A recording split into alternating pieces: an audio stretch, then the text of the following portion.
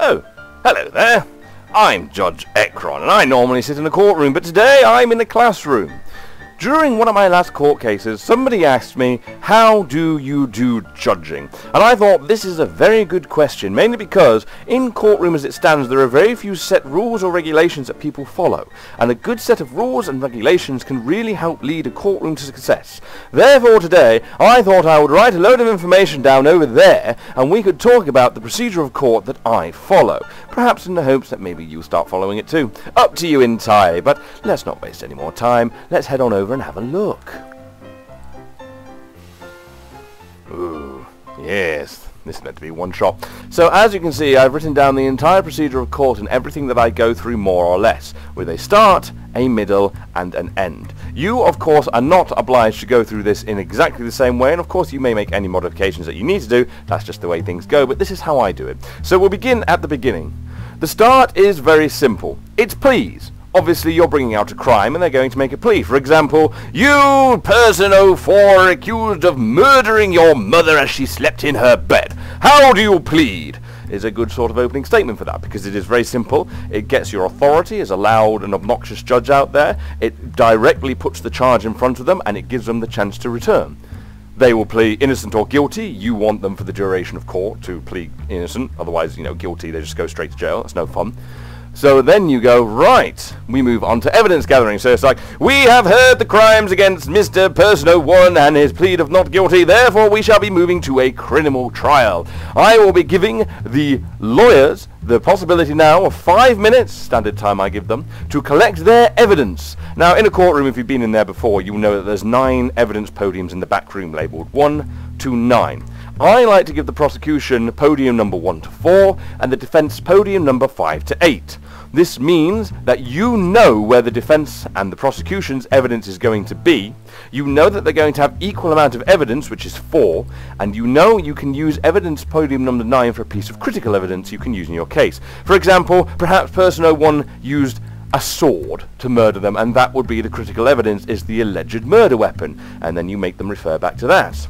So that's evidence gathering. During this time as well, there are things that you should be doing as a judge if you're uh, adding particular things in, but we'll cover those as we cover the rest of everything here. You may also wish to give your defense attorney the time to speak to their client so they can get their story straight. And that is important for the witnesses section, which we'll go into when we get there. We then move on to explanations, and explanations is very simple. It's roughly what I'm doing here, where you explain the entire procedure of court and what is expected of them, along with any rules that you have imposed on the courtroom. For example, I use an objection rule. Now, I don't use an official objection rule like, say, a law-abiding court judge might actually do. Remember, I'm an idiot. But my objection rules are very simple. Push the button, I either say, go ahead, abstained, which means they have to wait until I tell them, or overruled, and if they don't follow the rules, their objections are overruled as a punishment. This just stops people randomly smacking the button and screaming whilst the other lawyer is going, because we know how bad somebody interrupting your train of thought and communication can screw up your entire story, and a lot of what you do in courtroom and VR chat is storytelling. It's so easy to throw them off, and good lawyers know this and will use it to their advantage. Yes, they may say objection, but if they have to wait and abstain, it means the other lawyer can carry on and not have their train of thought broken, and that is very important. But uh, I got completely distracted there. Wipe the rules. But that's explanation, so we'll move on. So we now move on to the middle section of the case. This is the case that your lawyers specifically will be taking part in fully. Once we reach past this point, the lawyers are literally no longer required. So if you can, if your lawyers need to leave in a certain amount of time, try and strive to get this bit done, because even if they've gone from that point, it doesn't matter. Opening statements. Normally I allow the prosecution and the defense in that order to make their opening statements. Opening statements are very small, simple explanations of what's going on. For example, the prosecution may go, Your Honor, I believe that person 001 murdered his mum in a blind rage using a broadsword from his LARPing experience because she wouldn't let him keep his internet hentai love doll. I believe that I will be able to prove the murder using the evidence that I have acquired and send this gentleman who I deem to be a criminal down to jail jail. would be an example of an opening statement. It's uh, it's short, it's concise, it gives away a tiny bit of the case in relation to a hentai pillow, which we don't know anything about, though you all know that's the love pillow at this point.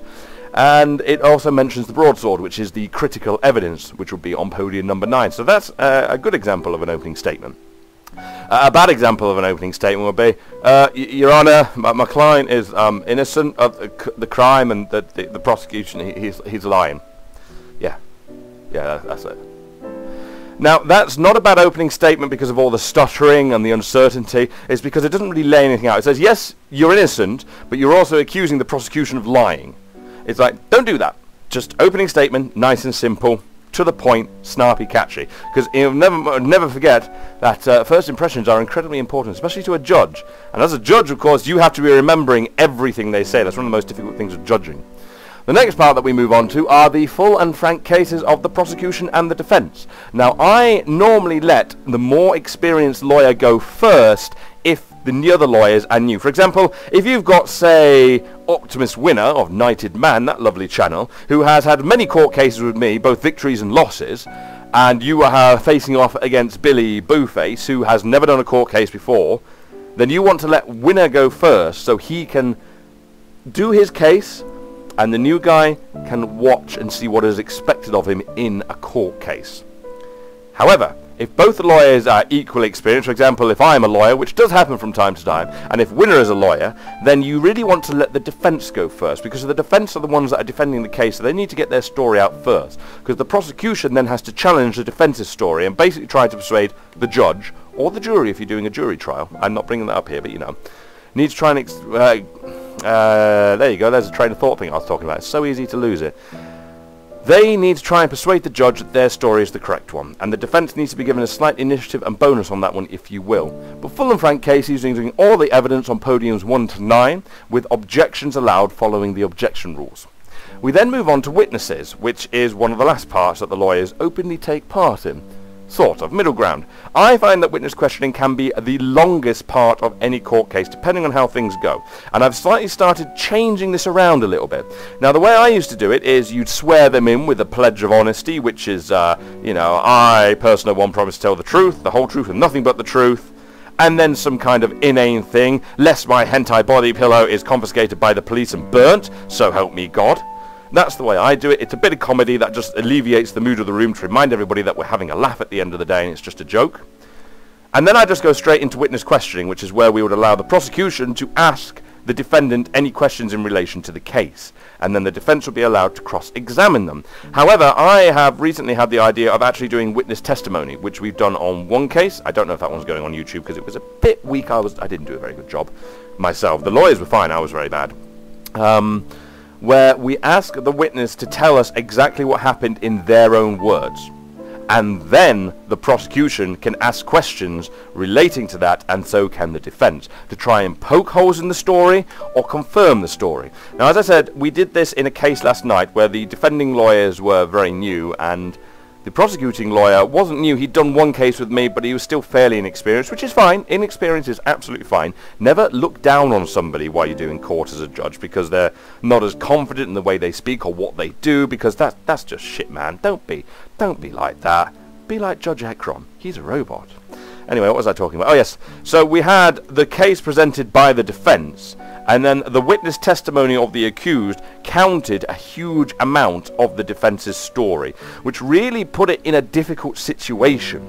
Now, neither the prosecution or the defense opted to ask any questions in that particular case, which I found a bit weird because at this point the defense really needed to be trying to save the case by perhaps trying to prove that their client was a drunkard.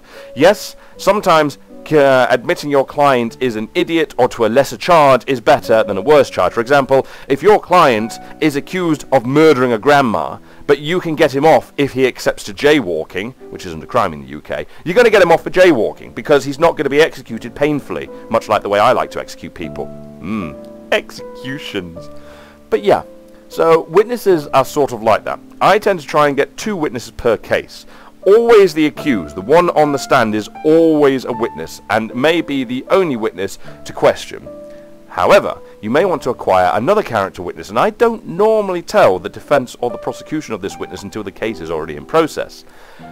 This is where you as a judge doing explanations, or evidence gathering rather, evidence gathering, my mistake, not explanations, need to be talking to the members of the bench. If you have, especially in the public room, this is difficult, but you have a good group of people who are willing to sit there and listen to a court case and get involved, you can say, hey, you over there, would you like to be a witness in this case? And if they say yes, what I tend to do is then say, okay, so you are person 001's internet girlfriend. He's met you once. And it's like, I give them a role that they are. That wasn't a very good example, but I give them a role they are and say, listen to the case the prosecution and the defense roughly puts out and come up with a story in your mind. He's accused of murdering his mum with a broadsword used for LARPing. Come up with a story, see how things go. Now, especially in regards to witnesses with um, actually giving their testimony. This can go either of two ways because if you they want you want them to give a testimony, you might have to give them a few more specific details. Like you know he brought the broadsword because he showed you a picture of it. A picture of him holding it, all hardcore. So you know he owns it, but you don't know what he's done with it. You don't know if it's real, but you know he brought it off this website, so it's extra little details. They may ask questions, they may not. But that's witness questioning the way I do it. And witness questioning can drag out the court case. I've had court cases where 40%, 50% of it has just been witness case questioning. Court cases for me last anywhere from half an hour to 180 minutes, depending on the severity of the case. About an hour is standard for me. Anyway, amendments. Moving on to the next point, because I've talked about witnesses for far too long. Amendments are something I've added in. As far as I'm aware, these aren't actually a legal term, but then a lot of this isn't legal anyway. Woo! Legalities! Amendments are an opportunity you give to lawyers to change something in their case. Now, the example I give in the courtroom, for example, is Bob the Skeleton has a habit of putting a dildo in his left eyeball.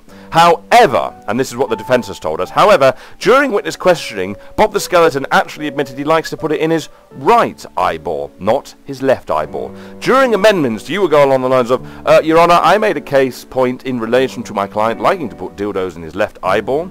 Uh, I'd like to correct that and say he actually put them in his right eyeball. And especially if you're doing witness testimonies themselves, that causes the defence's lawyer to line up with the witness as well, so the story becomes more coherent and believable. Now, amendments, I allow them to be objected to if a prosecuting lawyer thinks an amendment is too serious. For example, Your Honour, my client is a zombie from outer space, is what you said on the stand when you were defending. But then you go, actually, Your Honour, my client is a nun and was nowhere near the place that that car was stolen. The prosecuting lawyer could object and say, Your Honour, this is far too much of a story change. It's completely changing the case right at the end. I don't think it should be included. As a judge, you have to make those judgment calls. You let them or you don't let them. I don't let them know if amendments have been accepted until judge's summary because I'm a bastard. But amendments, yes. Most people should have no amendments to make. Uh, I had more amendments in one court case last night, the first one we used witness testimony with, than I have in every other court case I've done. And I'm a good 30 to 40 court cases with this setup in now. Uh, probably closer to 25, but I'm a good 20 to 30 court cases using this setup in now, so I'm fairly experienced with it. That's why I'm teaching you. If you're listening, maybe you're not, but don't forget to like, comment, subscribe. I'm a robot. And the last part that we move on to now with the lawyers are our closing statements. Closing statements are much like opening statements. They are short, concise statements about your case. However, now you can reference evidence. For example, a prosecution might go, Your Honour, I believe that I have successfully proven the guilt of person 001 for killing his mother by showing that he was at the location at the time using the calendar, the weapon itself used, and the fact that the body pillow had blood on it because he carried it with him during the murder. I do believe that he shall be found guilty this fine day. Would be a perfect example of a closing statement for a prosecution because it it lays out his case, why he thinks he's guilty, and leaves it in the judge's or the jury's hand. The defense, of course, can do the same. A bad closing statement would be, as was exampled, I'd like to remind you that I am a kung fu master, and if the jury does not find this man guilty, I will find you and I will kick the out of you. Which was pretty much a closing statement we had. I don't actually remember if he won that case. It was a very weird case. I think he might have. It was a jury case. I think he did. Yeah, yeah, that was he won that case. He, he was one of the worst lawyers I've seen. Hilarious lawyer, absolutely off the wall, funny, but uh, lawyering skills, whoo boy! But he won. Anyway, there are the parts of this. Once this is done, the lawyers are done. They don't necessarily need to be here anymore. So if they have to go, that's cool. So we'll move on now to the explanation of the end. Ending is everything to do with the judge at this point, or the jury. So, judge's summary. This is always my favourite part of the court case, but it's a real test of your memory as a judge. Because in a judge's summary, you open the panel and go through every piece of evidence that has been presented to you by the prosecution and then the defence. Now I normally take the case that was presented first, so if I let the defence go first, the defence's case is reviewed first. You talk about every piece of evidence and every amendment made, as well as the critical evidence, and your own personal thoughts. Because at the end of the day, if you're judging, you're the one that's interpreting this. You allow no objections and no amendments here. This is what you've been told, unless you are catastrophically wrong and you request information, which I had to do the other night. You then do the same with the prosecution covering the case. Have a good think about it. Hmm. At this point during Judge's summary, and this is far more important than I'm making it out to be, if you've done any, say, the numbers game, or you've done a coin toss, or you've done anything along those lines to determine something that cannot be determined, and we'll go into that in a minute, then you would reveal that here for them to know. The next thing you move on to is judgment. Let's say person 001 has been found guilty of murdering his mother. That's the judgment. You found him guilty, or you found him innocent. You could find a mistrial if you really wanted. I'd never done that before. You could find something else, but uh, normally it's innocent or guilty. Because you've got to bear in mind as well that uh, we're all in courtroom. We haven't got a clue what we're doing. We're all having a laugh at the end of the day. Plus, reasonable doubt. We'll talk about that in a minute as well. And then we move on to sentencing. Sentencing is the fun bit because this is the, uh, if they've been found guilty, what's going to happen to them. Now, in most cases, I do tend to execute people because why not? And I like to do the weirdest executions. For example, uh, one case, the gentleman had a pair of elephant testicles shoved down his throat with a hole drilled in them so he would slowly choke to death whilst he was being teabagged. In another one, which is on YouTube now, I think it is, uh, she was sentenced to death by being given to her OnlyFans with no kind of security. Uh, somebody else was sentenced to death by uh, being the personal shopper of a Karen.